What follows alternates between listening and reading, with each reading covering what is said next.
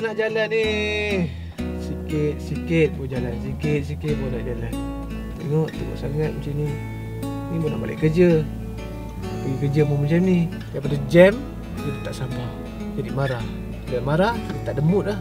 Dia kerja semua dia tak betul. Bagi saya untuk mengatasi kita punya masalah marah ni kan, kita kena sabar. Sabar pula itu satu cara.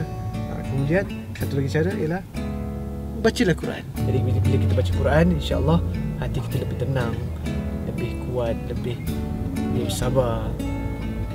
Saya sarankan surah Toha dari ayat 120 hingga 135.